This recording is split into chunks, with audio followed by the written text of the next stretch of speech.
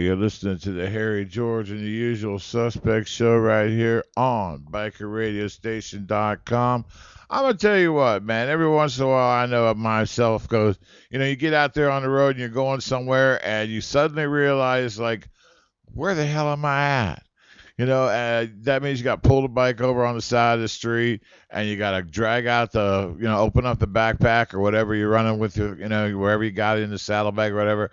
Find the damn atlas and everything. Start trying to figure out where the hell you are in the state you're in. and I mean, it just gets like, wow. Well, man, we got a guy on the phone today that said, nah, you don't got to do that stuff no more. Not only am I going to be able to show you who, what, when, where you're at, I'm going to tell you about some great places to party and all kinds of things like that. Man, put together a little thing called the, the Biker Atlas, man. Rob Borden. Hey, Rob, how you doing? I'm doing good, buddy. How are you, man? I'm lost in my own studio on a regular basis, Rob. So, I mean, I could definitely use any kind of help you can give me. Cool. I can't hear you too good, man. So I'm, I'm trying to make out best I can what you're saying. Okay, let's try that. How's that? A little bit better for you?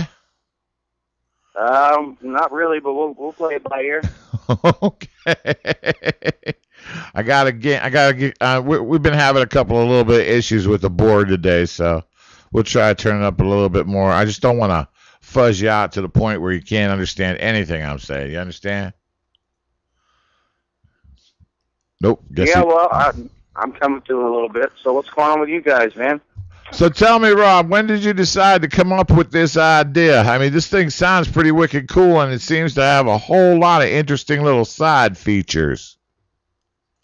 Yeah, man, it's got all kinds of stuff. I mean, basically, the way the idea came up is um, I went on a trip. I went up to uh, the Blue Ridge Parkway and uh, did um, Skyline Drive, Tail of the Dragon, and all that. And um, I got up there, and what a lot of people don't realize, Blue Ridge Parkway is fucking beautiful, man. Um, 469 miles long, but a lot of people don't realize it's actually a state park. So what that means is there ain't no signs anywhere that tell you where there's gas and food. So once you get down under about a quarter tank of gas, you you, you start getting nervous because you had no idea where there's gas. So I was on this trip, and I said, you know, it'd be nice if there was an app or something that showed you like you know, where the gas stations were nearby or where the, you know, food or whatever was. And I didn't think much more about it. And then uh, a little bit later on down the line, I took another trip. Me and some buddies uh, went up the East Coast from uh, Florida up into uh, North Carolina, and we stopped in in uh, Myrtle Beach, which happened to be Myrtle Beach Bike Week along the way.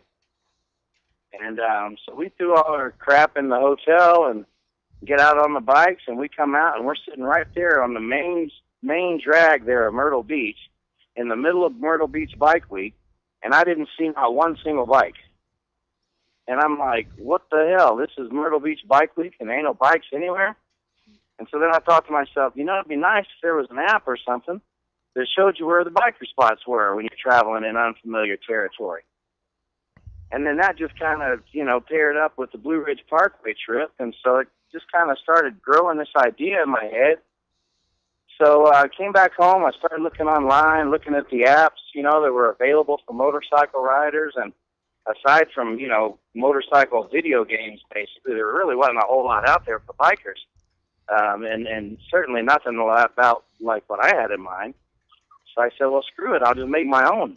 So that's what I did, man. So I did a couple of years of research and development and if you notice, actually, the app has a separate section in it on the Blue Ridge Parkway just for the gas and food exits because of that trip. So that's why that's in there. Um, so anyway, yeah, did a couple of years, like I said, research development, and uh, started putting the app together, and you know, then uh, submitted it to Apple and Android. They both picked it up, and uh, I mean, it just it took off from there. I mean, played around with the price of the app a little bit, you know, started off uh, one price and then tried another price and ended up settling in at a dollar ninety nine uh, for the app. And then all these sponsorship requests started coming in. All these companies that wanted to be a part of what we were doing. And uh, because of that, uh, about two months ago, I actually made the app free. Now, one thing with with uh, free apps, they always bombard you with all these pop-ups and trying to sell you all this bullshit. and uh, that's something that we don't do with Biker Atlas, man. It's a 100% free app with no pop-ups or no nothing. So yeah, basically that's how I got started. That's, I mean, I got to tell you what, that's, you know, that's the great American ideal. You know, you're sitting there and you see a need and you go looking for it and nobody's got it. And, you know, okay, well, then if nobody's got it, I need to figure out how to get it or get it done or get it together and go from there. I mean, I'm writing, and I mean, are you uh, computer trained to like be able to put the app together? Or you called on a friend of yours, or you know, how'd you get all worked out with uh, actually putting the language together to make it work right? Well, that's why it took two years of research and development because I didn't know what the hell I was doing. I can put oil in my bike, but I don't know how to turn on the computer. Okay. Yeah, I mean, I've I've messed around with websites and stuff before, but you know, never done any apps, and they're completely different. And so, uh, I mean, it was just trial and error. And you know, when I first started off, it was under a different name, and I had uh, ran into a legal issue with this other name. So then we switched it over to this, and it's you know, every so often we add more content and more features, and you know, people will write into us or send us messages, you know, hey, you know, it'd be nice if you had this feature or that feature, and you know, if it's feasible and if it's something that that we feel like is a benefit to the app, then uh, you know, we, we certainly add it. So that's the one nice thing with the app is, you know, it's always changing. It's always got new stuff. So you know, you look at it now, you, you see one thing on there. You look at it, you know, six, eight months down the road. Now all of a sudden, it's got three or four more features in it. So it's constantly changing. You know. So I mean, you know, when you go to update something like that and everything, you know, go version 1.1 or 1.2 or whatever you do. I mean, you know, the, especially with you know the languages and how quickly they are, you know, evolving and getting faster and a little bit, you know, more and more easy to be used. Do you uh, find yourself, you know, uh, suddenly deciding, okay, I'm just gonna put like redo the whole thing in this newest version, or do you just like tack on, you know, tack some stuff on to the versions that you have and just let it uh, re-roll and reconstitute itself, or how are we doing that? Well, I got to tell you, I had an airplane flying overhead here when you were just talking, saying that, so I didn't quite catch what you said. Uh, but something about the updating the apps. Uh, when we update the apps, typically speaking, uh, we're adding content. Very rarely is there an update. Matter of fact, I can't remember anything uh, that we've actually ever taken out of the app. Um, so yeah, I mean, each time there's an update, it's because there's stuff added. Again, I didn't completely hear what you said, so I don't know if I answered your question or not. But no, no, that's all. Uh, what you know, like I said, you know, most people they they start out. You know, I, I've learned a lot. I've I have the basic language skills to write this, and I put together this version, and it's working, and people are buying. You know, people are buying it or downloading it or whatever. But you know, like everything else in the world of computers, languages evolve just as as phones evolve, as uh, you know, you know, computers evolve. So like, do you have like you know, time comes around when you're gonna have to like go ahead and reboot this whole thing into like a version two or a version three? Yeah, absolutely, absolutely. And that's yeah, because you know Apple, their their iOS uh, changes, and uh, same thing with Android. You know, as they release their new versions of their phone software, a lot of times we'll have to uh, release a new update of the app just to be compatible with the new phone software. So then it gets to a point sometimes, we've only seen it happen a couple of times, where there's this one old guy that's kept on, you know, that same phone that he's had for 10 years and the app doesn't work on it anymore. Well, it worked on it when he, you know, when he had it originally, but with all the software updates, you know, apps can can not work anymore. So yeah, sometimes you run into stuff like that. But yes, we we always do keep the app current with all the uh, current operating systems. Cool. Now, like if I wanted to go, let's say, okay, I got your Biker Atlas app, and I wanted to go to say like Sturgis or someplace like that, and just know more about that particular area. Does you know, like you said, you know, because you'd done the thing with the state park or that big national park down there on the parkway and everything. You got uh, specific sections of it where you could say, okay, you're at this event, and this is where you could find everything. Yeah, our app um, there's a it's got a it's got a nationwide calendar of events for all the motorcycle rallies across the country got all the helmet laws for every state in the country, all the gun laws for every state. Uh, it's got an interactive GPS guided map. You can zoom it in, zoom it out as far as you want, and it'll show you preloaded points of interest in the map. Uh, it's got biker bars, campgrounds, strip clubs, repair shops, whatever your typical biker looks for. Now, it's not going to have every biker bar and every campground. I mean, all over the country, there's no way to enter that much data in your phone unless you want me to turn turn your phone into a fishing lake. So, um, but it does have pre-selected points of interest in there that we've either run across in our own travels, uh, any of our crew, or that have been, you know, handed down to us or recommended to us. Or there's even a section in the app where you can submit your own spots. So if you've got a favorite spot somewhere that you know about that you think should be in the app, you can submit it to us right there from the app. We'll add it in there. Um, so you open up the map, you find a spot on there that you want to go to. You just tap on it, and it'll give you GPS guidance right to the front door, uh, which is pretty cool.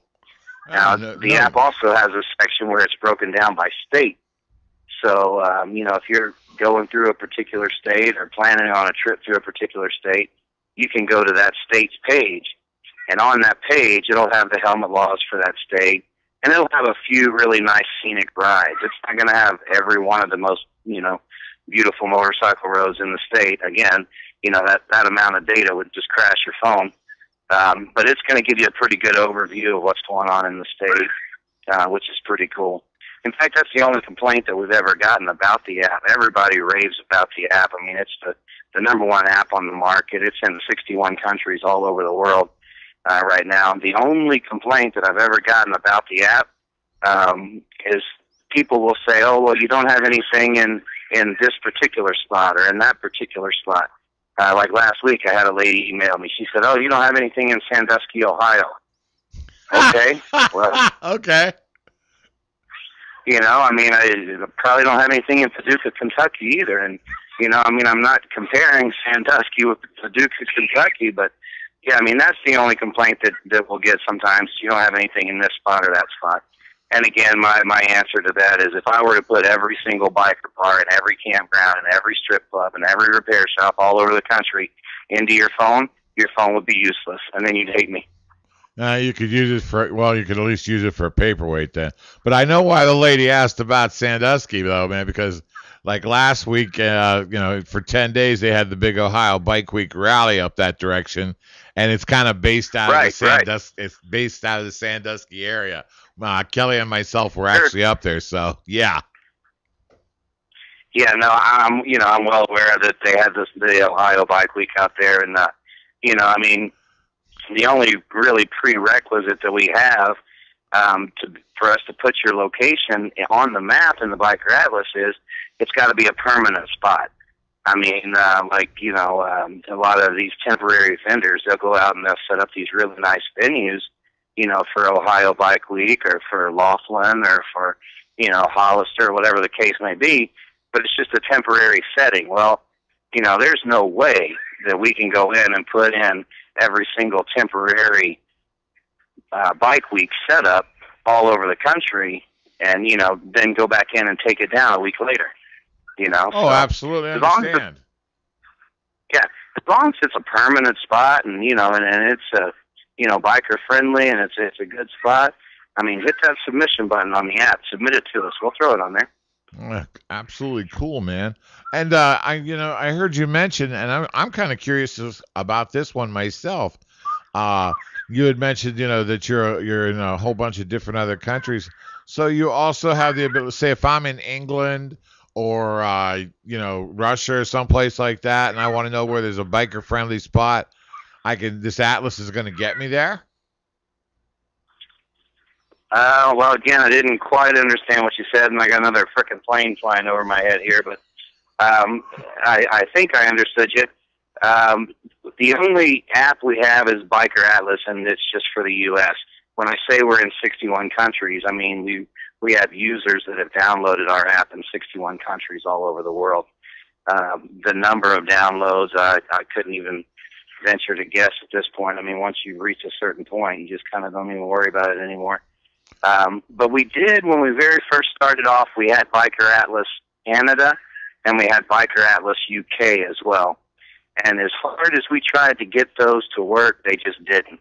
Because there's just not a whole lot of, of information easily available um, for rallies and things like that in Canada and the UK as there is for the US. And so we actually took down Biker Atlas Canada and Biker Atlas UK. Oh, okay. And living close to an airport can definitely be detrimental to a phone conversation. I'm understanding that. So, but uh, now you know, you, you have you know. So one of the, although I got to tell you, you know, you say you got you know, kind like 61 countries who've got who've downloaded this thing. That sign kind of speaks kind of well, you know, because it says there's a whole bunch of people from a whole bunch of different places coming here and downloading your app so that they can have the absolute best experience on their motorcycle, rented or sent over or however, and enjoy themselves. I mean, that's a damn dude. That's amazingly cool. Oh, it's awesome, man. We get letters and emails and stuff from people all the time, you know, thanking us because they flew in from, you know, England or they flew in from Brazil or they flew in from wherever, rented a bike and did a tour and they used our app along the way and they found all these awesome places and I mean it's the biggest compliment we can get, you know. I mean it it's really awesome. Um you know, and uh I want to say it's probably been about a year and a half, 2 years ago now. Got an email from uh, a few guys from Brazil that were flying and and um they had downloaded our app and they were flying into Vegas and they wanted to do Route 66 and uh, it just so happens my wife is Brazilian. She speaks Portuguese, so I speak fluent Portuguese.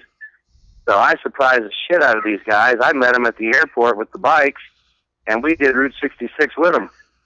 Cool. We took pictures. Of, yeah, we took pictures along the way, and it was a blast, man. Now that you know, as a as a developer with a, and having an opportunity to do something like that, I mean, you can't put a price on an experience like that. You saw a need to create something, you created it. You uh, you know, it got you know very popular to the point where it's like you say now you can download this thing for free without all those extras on it to come with a lot of free apps. But not only that, you have an opportunity to interact with your users in such a manner as you just said. That's an amazing piece of business, man. And you know, I think that's what's been, you know, at least partially instrumental to the success is, you know, from day one when I created this thing, it never was about me. You know, it never was about biker Atlas. Well, it was about giving back to the motorcycle community. You know, giving them something that there was a need for. And so throughout my whole promotion and marketing and branding of the Biker Atlas, I've never branded Biker Atlas. I've never marketed Biker Atlas uh, anywhere near as much as I promote what other people are doing. So I found that by promoting you guys, by promoting the biker community, by promoting the biker businesses, the charities, all the good that the, the biker community does, you know, by promoting all of that, people find out about us a whole lot more than if I'm just out there standing on the corner with a, you know, Biker Atlas sign. So that that's uh, I feel like that's been very instrumental to our success. Is that it never was about me and it never was about Biker Atlas. It's about the biker community. Well, that's, I mean, you know, it's karma, man. Good karma gets you good karma. Bad karma gets you bad karma. You put something together, yeah. you know, and you liked it, and you gave it to people, and you shared it with them, and and you told them, you know, this, you know, this where the part, you know, these are where the parties are at. This is the places that you want to stop and see they had a good time and spread the word. That's as good as I mean, honestly, you can't have word of mouth advertising. You know, the, down here in the down here in the ditches with the guys who use the application, where they're saying it's as good as it is. And honest to God, man, I've heard a lot of fantastic things about this from my brothers with the smartphones, even like myself. You know, and they're they're all say they all say the same thing. You will not download. You can't find. There is not available a better, more concise piece of software for your phone than Biker Atlas. And I mean, that's freaking great. That's awesome, man. I'm really glad to hear that. Thank you. You know, so yeah, I mean, and you know, we, we couldn't do it without without the people that you know support us and without the people that sponsor us. I mean, we got such an amazing network of of people that that you know do what they can for us. I mean, you know, I mean, all the way from the East Coast. I've got a crew over on the East Coast. You know, Jody over there uh, who handles all my East Coast stuff, and you know she's always out promoting us and promoting you know the people out there. But I mean, you know, I mean some of the people, just to name a few. I mean, we got Iron Horse Saloon, uh, Hang Dog Saloon uh, out in Sturgis. You know, Glencoe Camp Campground. You know, they're one of our big sponsors. You know, Easy Rider, Broken Spoke. I mean, we're affiliated with some of the biggest names in the industry. You know, I personally I live out in Vegas, so I'm personally, I'm more in touch with stuff out here on the West Coast and out here in Vegas. I mean, we got you know Indian motorcycles, BMW motorcycles, Freedom Cycle, Carter Power Sports, Major Power Sports, Hogs and Heifers Saloon, uh, Eagle Rider motorcycles, Valhalla Cycles, uh, Harley Davidson Cafe. But I mean, my point is, we got everything from big name, you know, people that sponsor what we do and support we, what we do, down to small, you know, small mom and pop shops, you know, and I think the variety of, of the people that we have and, and that diversity of the people that we have that have our back, even down to the, you know, the local motorcycle clubs. I mean, you know, Eagle Riders 518 MC, I mean, they, they, they support everything we do. The Combat Vets Association, the Marine Riders. I mean, veterans are some of the biggest people here out here to support us, you know, and, uh, so, it's just the support that we get is just amazing. It really is. And you know, you got to say honestly, you know, those that's as Americana cool as it can get. You know, I'm I'm out taking a ride on a road one day and I see it, you know, and I'm like, I want to, you know, I'm looking, look at my gas gauge, and I'm like, wow, I wish I, you know, had something on my phone to get me there. And then, you know, two, three years later, you know, you got the biker atlas and everything. And that, I mean, that's just, that's, that's just great. I mean, because, I mean, there's, there's no adjective to describe how much that explains the basic American need to, you know, I'm going to help some people out and I'm going to help myself out too, you know, because I don't like being lost. I don't want to run out of gas. And, you know, my feelings got to be the same as everybody else's. They don't want to do it either. So let me help them. Yeah. Yeah. I mean, that's, and, and that's, that's basically what it is, man. I mean, you know, uh, that's how it all came together. And so, like I said, we we couldn't do it without the support that we have from the from the riders and and and then from the you know people in the motorcycle industry. So, you know, we owe it all to uh, all to you guys, man. And I don't know if you saw my post on Facebook. This is actually the first radio interview that I've ever agreed to. You know, I mean, it's not that I, I've been against them. I just don't ever have the time, man. I stay so busy running around. So, uh, you know, I'm glad you guys uh, got a hold of me. I'm glad we could work this out. Oh, as are we. You know, when Kelly, when Kelly had told me, you're not going to believe who I got hooked up for you, and, and I'm like, that dude don't talk to nobody, man. And it's not to say that you, it's not that you don't want to talk to him, but like you say, man, I'm trying to make sure that you know the people out that I'm making something for things. So to, to have you here on our show, your inaugural radio interview, as it were, is like amazingly wicked cool. And I'm going to tell you what, I really appreciate it. Now your uh, your app, it's available at uh, at the usual outlets, you know, for your phones. Is that correct? Yep. Yeah, it's available in iTunes and uh, and also Google Play for your Android phones. Just uh, go to the App Store, type in Biker Atlas, and uh, it'll come up. Or you can find us online at bikeratlas.com or you can find us on uh, YouTube or, I mean, wherever. Speaking of YouTube, we've actually started a line of videos that we call Biker Atlas TV. And that's a lot of the uh, events that we go to at rides and charity events and things like that. Uh, we started doing videos, and we call those segments Biker Atlas TV. Well, then the next thing I know, we're in talks with Roku, which is a smart TV box, kind of like Apple TV, if you heard of that.